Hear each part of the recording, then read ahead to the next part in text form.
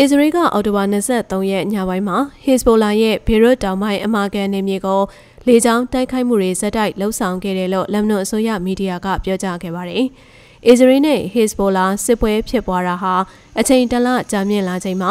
အစ္စရေးကအထက်ပါတိုက်ခိုက်မှုတွေကိုလှုံ့ဆော်ခဲ့တာဖြစ်ပါတယ်။အနည်းဆုံးအစ္စရေးတိုက်ခိုက်မှု18ကြိမ်အတွင်းအဆောက်အုံ6ခုပြိုကျသွားတာနဲ့အတူစက်တဘာ23ရက်မှာစစ်ပွဲဖြစ်ပွားခဲ့ပြီးတဲ့နောက်လမ်နိုမြို့တော်ဘေရွတ်ရဲ့စင်ကြီးပုံးရက်ကွက်တွေမှာအပြင်းထန်ဆုံးတိုက်ခိုက်မှုတွေလှုံ့ဆော်ခဲ့တဲ့ညတညဖြစ်ခဲ့ပါတယ်။တီးခြားအဖြစ်ဒမတ်စကတ်မြို့မှာရှိတဲ့လူနေအဆောက်အုံနဲ့ဟွမ်းမှာရှိတဲ့စစ်ဘက်နေရာတွေကိုအစ္စရေးလေကြောင်းတိုက်ခိုက်မှုတွေရှိခဲ့တယ်လို့ဆီးရီးယားအစိုးရပိုင်မီဒီယာကဖော်ပြခဲ့ပါတယ်။ ဟွမ်းမှာရှိတဲ့စစ်ဘက်နေရာတစ်ခုကိုတိုက်ခိုက်ခဲ့မှုကြောင့်စစ်သားတအုပ်သေဆုံးသွားခဲ့ပြီးတခြားလူ9ဦးဒဏ်ရာရသွားခဲ့ပါတယ်။ဘေရွတ်တောင်ပိုင်းစင်ကြီးပုံရက်ွက်တွေကိုအ ਨੇ ဆုံးအစ္စရေးတိုက်ခိုက်မှု18ကြိမ်လှုံ့ဆော်ခဲ့တယ်လို့လမ်နွန်အမျိုးသားသတင်းဌာနကသတင်းဖော်ပြခဲ့ပြီးဒီတိုက်ခိုက်မှုဟာအစ္စရေးဟစ်ဘိုလာစစ်ပွဲစတင်ပြီးကတည်းကဘေရွတ်တောင်ပိုင်းကိုအပြင်းထန်ဆုံးတိုက်ခိုက်မှုဖြစ်တယ်လို့ဆိုပါတယ်။